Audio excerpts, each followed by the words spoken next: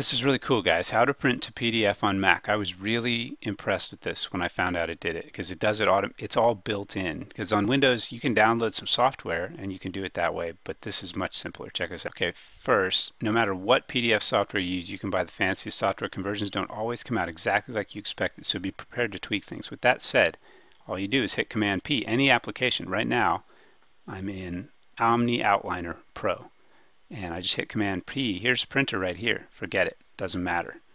Just scroll down to PDF down in the bottom left. Save as PDF. That's it.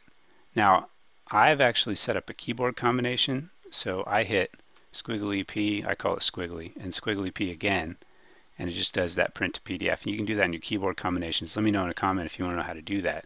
But it just gives you a file name. You just say, what do I want to save it as?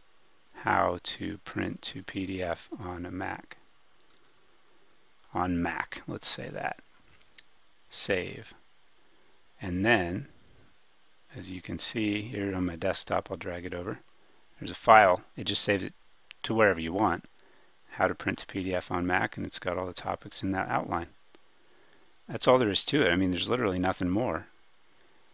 Um, let me know. Let me know I'll bet there's something I can do to help out further. I'll bet there's something specific you wanted to do, but honestly, that's all there is to it.